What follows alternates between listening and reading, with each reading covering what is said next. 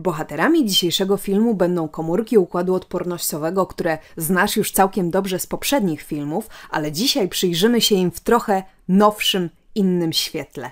Otóż Wszystkie komórki, o których będziemy dzisiaj rozmawiać, w szczególności komórki dendrytyczne, mają za zadanie tak zwaną prezentację antygenu. Pamiętasz może to pojęcie z filmu, w którym rozmawialiśmy o roli makrofagów i na czym to w ogóle polega, że one fagocytują patogeny, a potem pokazują ich części na swojej błonie komórkowej po to, żeby zapoznać z nimi inne komórki układu odpornościowego.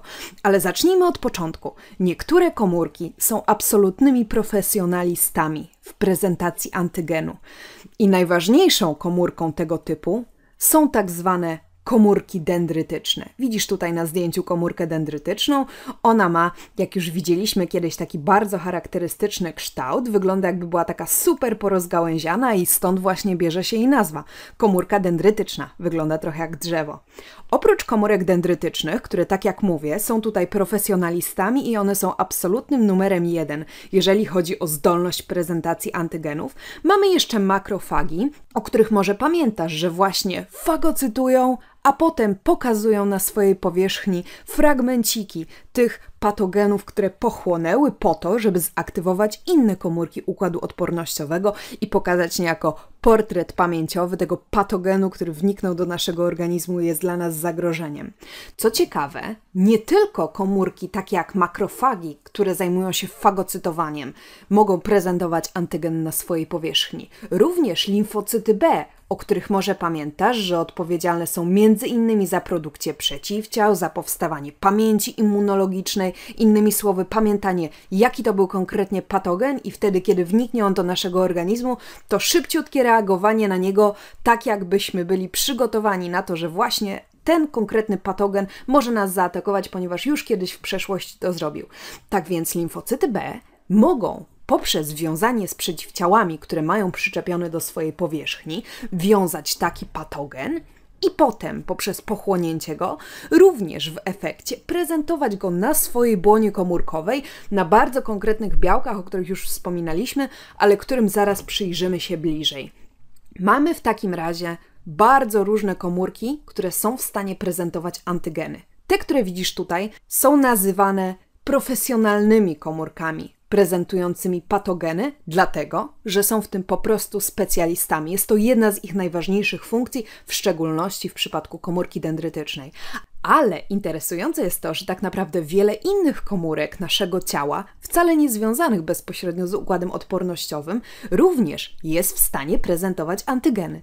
Należą do nich na przykład fibroblasty, czyli komórki tkanki łącznej, które są chyba jej najbardziej powszechnie występującymi w naszym ciele reprezentantami, tworzą innymi naszą skórę, są właściwie wszędzie w naszym organizmie, ponieważ tak naprawdę wciskają się między wszystkie inne komórki. Fibroblasty są naprawdę wszędzie w Twoim organizmie organizmie. W każdym razie fibroblasty to potrafią, ale nie tylko fibroblasty. Tak naprawdę poprzez wydzielanie bardzo konkretnych cytokin, chodzi tutaj przede wszystkim o interferon gamma, o którym kiedyś już była mowa, możemy zmusić komórki naszego organizmu, które nie są komórkami układu odpornościowego, do tego, żeby na swojej błonie miały białka, dzięki którym będą w stanie prezentować antygeny. No i teraz przyjrzyjmy się bliżej temu właśnie procesowi. Pamiętasz może, że wszystko musi się zacząć od pochłonięcia patogenu. Powiedzmy teraz, że rozmawiamy o komórce dendrytycznej, żeby wbiło nam się w głowę, że to jest komórka, która się najlepiej zna na tym zadaniu, o którym rozmawiamy.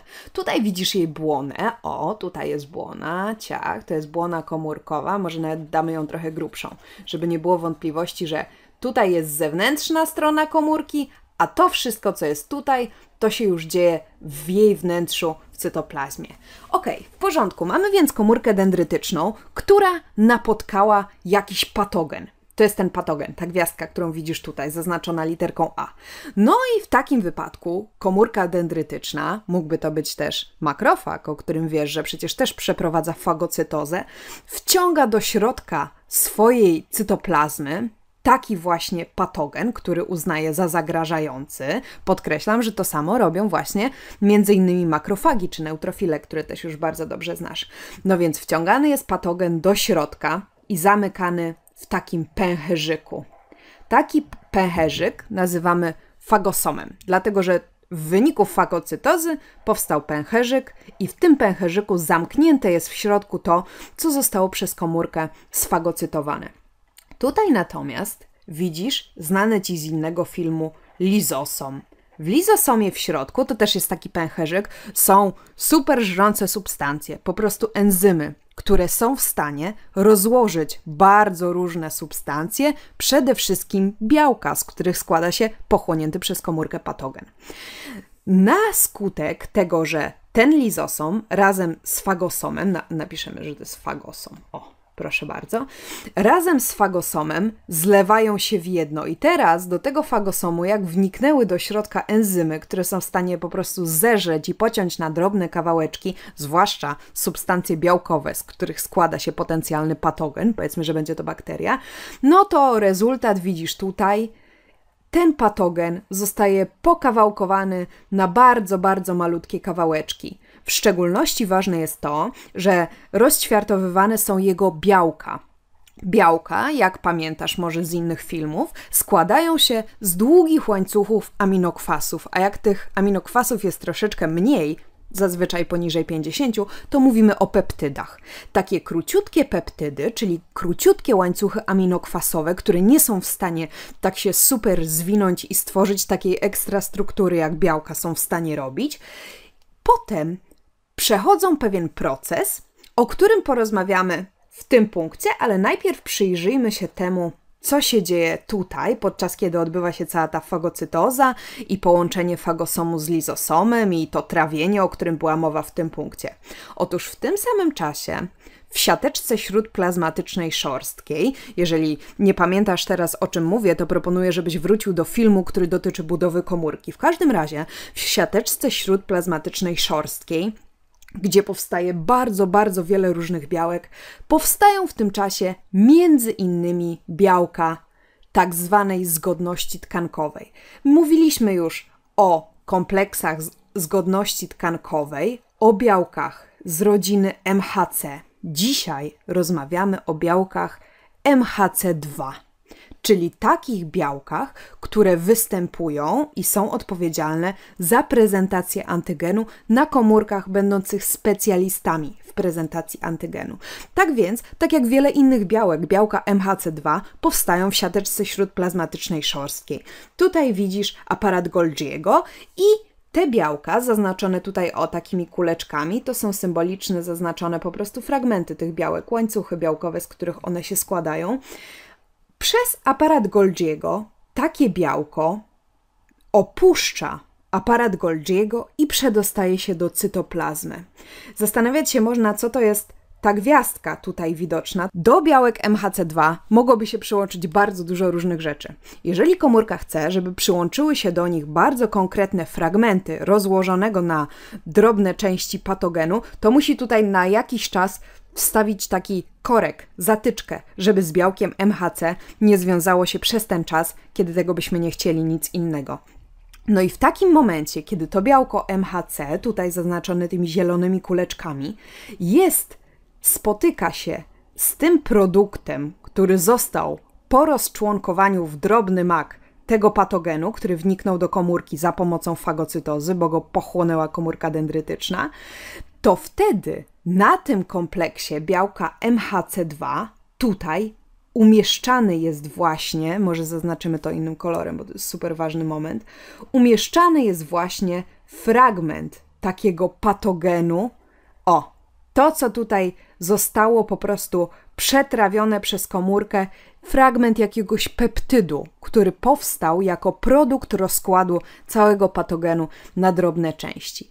No i to nasze białko, MHC2, które tak naprawdę jest głównym bohaterem naszego dzisiejszego filmu, zaopatrzone już w ten fragment, w ten peptyd, który jest pochodzenia, pochodzenia jakiegoś niebezpiecznego dla naszego organizmu patogenu, wędruje sobie, zaznaczymy to jeszcze innym kolorem, wędruje sobie wtedy na powierzchnię komórki i wmontowywany jest w błonę komórkową, ten nasz MHC2. Zapiszemy sobie, że to jest ten sam MHC2O, co był tutaj, produkowany w siateczce śródplazmatycznej szorstkiej, a potem przez aparat Golgiego przechodził i został wypuszczony do cytoplazmy. Tutaj został połączony z jakimś peptydem pochodzącym od patogenu i koniec końców wylądował na błonie komórkowej naszej komórki dendrytycznej. Mamy więc specjalistyczny rodzaj białek. Te białka nazywane są białkami MHC, czyli białkami układu zgodności tkankowej. Wspominaliśmy już kiedyś o tym, że zgodności tkankowej, dlatego że pokazuje, czy jakieś konkretne fragmenciki y, białkowe, jakieś konkretne peptydy pochodzą z naszych własnych tkanek, czy może są jakiegoś zupełnie obcego pochodzenia i tym samym są czymś niebezpiecznym. No i białko MHC ma za zadanie przedostać się na zewnątrz i wmontować się razem z tym pochodzącym od patogenu fragmentem peptydu czy fragmentem białka, jak wolisz, na powierzchnię i pokazywać się innym komórkom układu odpornościowego. Po co komórki dendrytyczne to robią? O tym będziemy rozmawiać w filmie dotyczącym limfocytów, zwłaszcza limfocytów T, które są odpowiedzialne za zaktywowanie bardzo dużej części układu odpornościowego, ale żeby to zrobić, muszą właśnie wejść w drużynę z komórkami dendrytycznymi, które pokazują im stosowne patogeny. Tutaj obok narysowałam dla Ciebie, a właściwie skopiowałam z Wikipedii, w powiększeniu, jak wyglądają białka kompleksu MHC2. Tutaj mamy błonę komórkową. Oglądałeś już to zdjęcie na filmie dotyczącym e, komórek, których zadaniem jest fagocytoza. O, Tutaj widzisz nóżki takie, którymi one są zaczepione, wmontowane w błonie, a to miejsce to jest miejsce, w którym montowany jest peptyd pochodzenia patogennego. O, tutaj jest on pokazywany to pokazuję Ci to w powiększeniu, żebyś widział jeszcze raz, jak wygląda białko MHC2, dlatego że różni się ono troszeczkę od białek MHC1, które, jak może pamiętasz, występują na wszystkich komórkach naszego organizmu i które nie pokazują tego, co rozćwiartowały po fagocytozie, tylko co się dzieje tak naprawdę w nich w środku. Będziemy się im przyglądać również na filmach dotyczących limfocytów T. Teraz zostawiam Cię z tą myślą, że te białka, mimo że mają bardzo podobne pochodzenie i bardzo podobną funkcję, to jednak troszeczkę inną budowę i w inny sposób zajmują się pokazywaniem tych króciutkich fragmentów aminokwasowych, króciutkich peptydów na powierzchni naszych komórek. No i teraz, jak już wiesz, że białka MHC2 wywędrowały z tym fragmentem pochodzenia patogennego na błonę komórkową, o, tak wygląda stan docelowy, to jest białko MHC2 z fragmentem peptydu pochodzenia patogennego, to zachodzi pytanie, co jest grane dalej. Otóż dalej komórki dendrytyczne mają za zadanie powędrować z miejsca, w którym rozpoznały zagrożenie, do węzłów chłonnych. Wspominaliśmy o tym, że wszystkie komórki układu odpornościowego to są tak naprawdę komórki krwi, które biorą swój początek w szpiku kostnym. I tak właśnie jest. Tam się pojawiają. Ale pamiętasz, jak mówiliśmy o tym, że komórka to nie od razu powstaje taka, jaka już jest na końcu, w swojej ostatecznej, profesjonalnej formie, gotowej do wypełniania takich zadań, jakie są dla niej przeznaczone. Każda komórka przechodzi bardzo wiele stadiów dojrzewania, inne więcej, inne mniej. Ale w przypadku limfocytów, o których szczególnie tutaj za chwilę będzie mowa, ta droga jest dosyć długa. Limfocyty, tak jak inne komórki układu odpornościowego, powstają w szpiku kostnym, ale dojrzewają w węzłach chłonnych.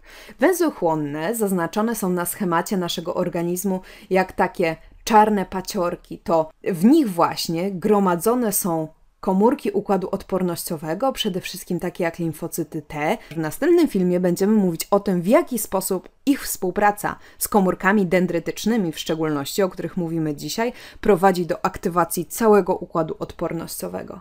No i w tych węzłach chłonnych w naszym organizmie, jak widzisz, one są rozmieszczone dosyć gęsto w takich miejscach jak pachy, pachwiny, tutaj o, w szczególności, no i jak widzisz tutaj wzdłuż jakby naszego kręgosłupa idą przez nasze ciało tutaj po środku. Te węzły chłonne, na których najczęściej się skupiamy wtedy, kiedy boli nas gardło, to widzisz tutaj, przy naszej szyi. Czasami czujemy, że są one powiększone wtedy, kiedy coś nas zainfekuje i wiemy, że nasz organizm odpowiada właśnie wzmożoną odpowiedzią odpornościową poprzez to, że coś się w tych węzłach chłonnych zaczyna dziać, to one się po prostu powiększają.